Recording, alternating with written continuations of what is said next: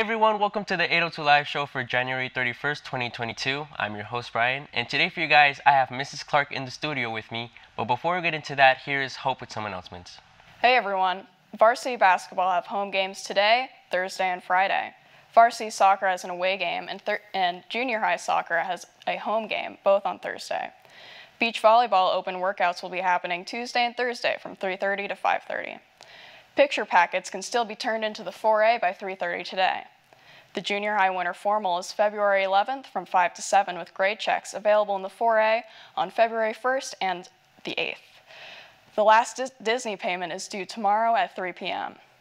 The the girls varsity basketball team did their best to overcome mental and physical fatigue. Playing three games in three days took a small toll, but having the motivation and support from coaches and teammates helps them find the strength to battle three very good teams. This was a turning point for the program and confirmation that the end of the season is extremely bright for North Pointe basketball.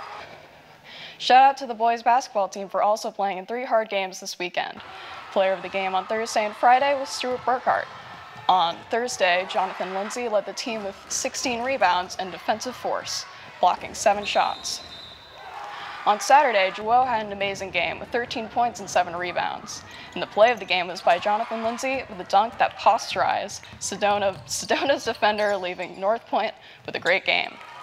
In junior high soccer won against Maryvale Prep 7 to 1. Everyone played an outstanding game. Back to Bryan.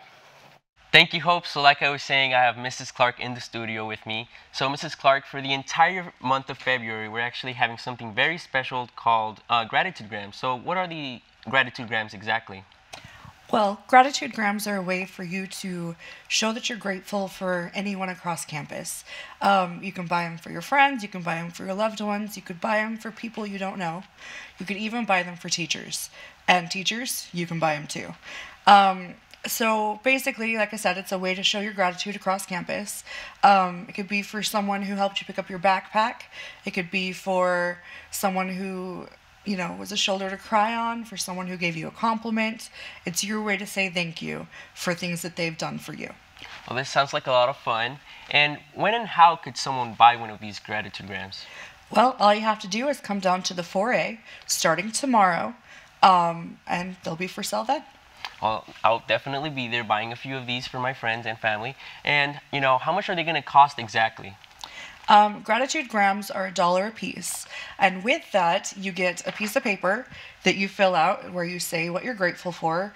Um, and then, as long as you can bring me the person's name and last initial, I can usually figure it out. Um, and then, you know, I can figure out their elective teacher.